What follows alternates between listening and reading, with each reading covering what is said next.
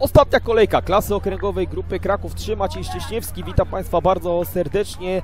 E, Bardzo ważny mecz, e, mega ważne spotkanie w kontekście zarówno awansu do nowej piątej ligi, jak i utrzymania w klasie okręgowej. Karpaty e, walczyły o jeden z najwyższych celów, a więc awans do nowej piątej ligi. Natomiast Wiarusy toczyły korespondencyjny pojedynek o utrzymanie z Górnikiem Wiliczka. Karpaty musiały wygrać, aby awansować, natomiast Wiarusy musiały wygrać i liczyć na niepowodzenie Górnika w swoim e, spotkaniu. Także ten mecz w Igołomi o godzinie 18 był naprawdę o e, bardzo dużą e, stawkę. Wiarusy w następującym zestawieniu 1 w bramce Potienko, 7 Wołoszyn, 19 Skrzyński, e, 4 Mazur, 5 Machaj, 20 Jakub Chmielek, 3 Gurda, 15 Galus, 14 Kopiejka, 11 Grzegórzko i 12 Nowak. Na ławce musiał Świętek, Ziółko, Bil, Gagat, Mikołaj, Ziółek oraz Kamil Chmielek, a dowodził drużyną Radosław Nowak. Jeśli chodzi o Karpaty, w bramce Wróblewski numer 85, 2 Kubera, 8 Korzeniowski, 10 Sobudka, 14 Bartłomiej Chlebda, 17 Zając, 27 Armatys, 28 Jagła, 33 Lesak, 37 Grzegorz Chlebda i 66 Chryczyk. Na ławce Pitala, Sołtys, Kęsek, Biskup i Salawa trenerem e, w zasadzie duet trenerski drużyny, e, w drużynie Karpat to Konrad Korzeniowski i e, Krzysztof Zając. Sędziował ten mecz Filip Studziński z Krakowa, goście w strojach biało-złotych, a gospodarze zespół Wiarusów w zielonych e, kompletach. E, Początek tego spotkania i e, bardzo nieprzyjemne zdarzenie. Bartłomiej e, Chlebda kontuzjowany musiał opuścić e, plac gry. Karpaty bardzo szybko rzuciły się do ataku. Chciały od razu strzelić e, co najmniej gola lub e, kilka, by sobie tutaj nie robić nerwówki. Wiemy, że takie spotkania o dużą stawkę rządzą się poniekąd swoimi e, prawami. Czasami ten stres i, i napięcie, e, stawka meczu e, powoduje, że ta gra się nie, nie klei. Ale tutaj e, bardzo szybko e, Karpaty dopięły swego Tomasz Armatys. Rozpoczął strzelanie w 10 minucie. Bardzo mocny, precyzyjny strzał w boczną siatkę. No i Karpaty miały już e, awans na wyciągnięcie ręki. Bardzo ładna dwójkowa akcja. Widać tutaj, że e, to zgranie w zespole się prawia. To jest to, co cechuje e, tą drużynę, co daje jej właśnie bardzo dużo. Kombinacyjna akcja i mieliśmy e, 0 do 1 lepszego. W początku wymarzyć goście sobie po prostu nie mogli próbował zając, ale ten strzał był bardzo, bardzo niecelny. Próbowały również y, Wiarusy. Oni po tym nie najlepszym początku nie miały już w zasadzie nic do stracenia. Tutaj troszeczkę się zakotłowało pod bramką Wróblewskiego. Ale z tego kontrataku Karpat też e, nic nie wyszło. Podrażniony e, ostatnim występem Jagła. I mamy 2 do 0. Po raz kolejny wpisuje się na listę strzelców Tomasz Armatys. 17 minuta, to wszystko od Jagły się e, zaczęło, bo zwróciłem uwagę tutaj na tego zawodnika, też bardzo ważnego w talii e, Konrada Korzeniowskiego i Krzysztofa Zająca. A tutaj po raz kolejny no, Armatys pokazuje, że nie jest przypadkowym zawodnikiem. Dobra technika użytkowa, soczysty strzał. No i po raz e, drugi Potienko był absolutnie bezradny. 2 do 0. No i Karpaty już e, mogły się rozluźnić. Te akcje były coraz bardziej e, płynne na luzie. Ale Wiarusy również próbowały.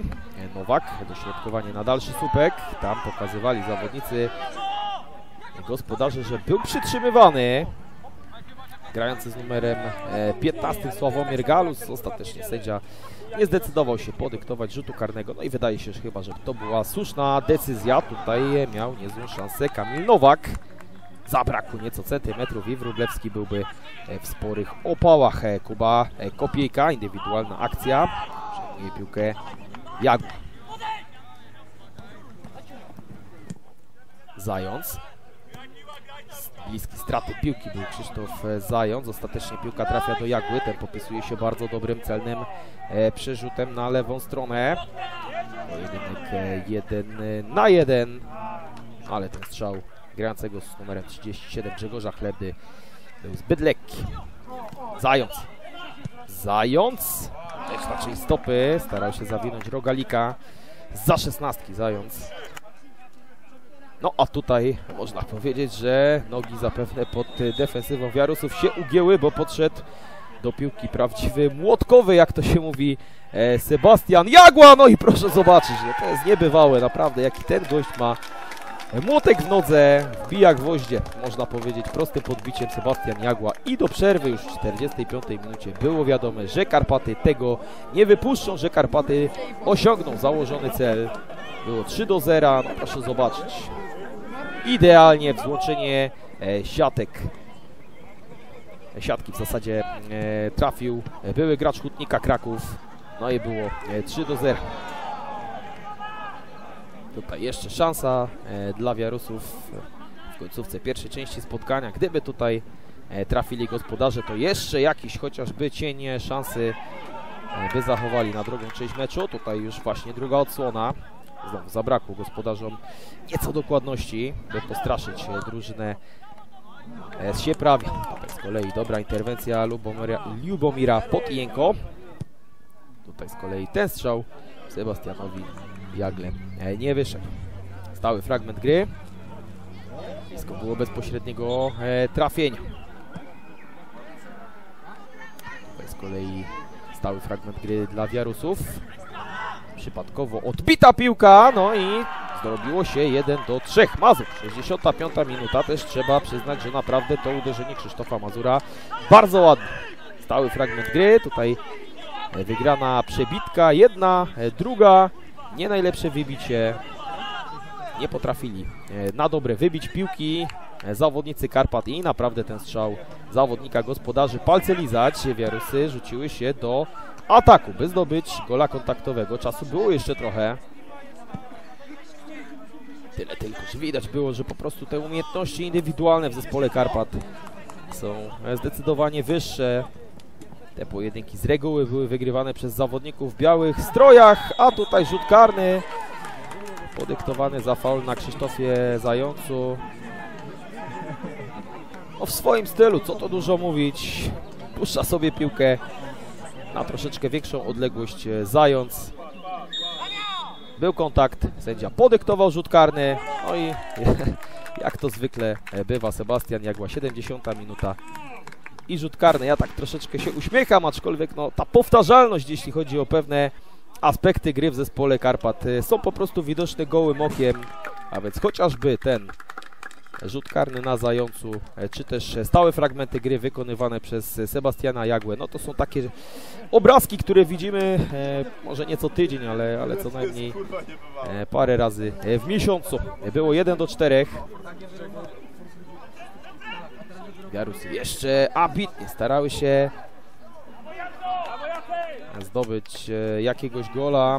E, Wszedł również na murawę Jacek Pitala, bramkarz e, Karpat, który rozpoczął spotkanie na ławce rezerwowych. Chleb da sytuacja sam na sam, ale jak to czasami bywa, kiedy zawodnicy formacji ofensywnych mają za dużo czasu i za łatwą sytuację, tak oczywiście mówiąc z przymrużeniem oka, to, to gdzieś tam te myśli się, się plączą, co tu zrobić i ten strzał był fatalny. Tutaj jeszcze próbował Sebastian Sobutka, obił słupek, z tych sytuacji dla e, Wiarusów było sporo. Tutaj inteligentne zachowanie Zająca, który był na pozycji spalonej. Sebastian Sobutka wpada w pole karne. Jeszcze dogranie do Jagły. No już e, rozluźnieni byli goście i też e, cudzysłowie popisywali się nie, nieskutecznością. A okazji było sporo. Tutaj kolejna szansa dla Chlebdy. Niepotrzebny dribbling. No, gdyby to spotkanie e, było bardziej ciasne i i te sytuacje byłyby niewykorzystywane w taki sposób, to pewnie e, duet trenerski Korzeniowski-Zając e, bardzo by się denerwował, a tak to gdzieś tam zostało to zapomniane. Kibice zaczęli fetować, mówię oczywiście o e, Karpatach, o kibicach Karpat. Odpalone świecidełka. Zając. Zając. No i świetna interwencja pod Jęki, wygarnął piłkę spod nóg Sobudce. Koniec tego spotkania. Karpaty dopięły swego. Karpaty awansują do nowej piątej ligi. E, Można było rozpocząć e, świętowanie, warunki atmosferyczne i klimat idealny do tego, by świętować właśnie w taki sposób, jak tutaj e, Państwo widzą. Lały się szampany, radość bardzo duża.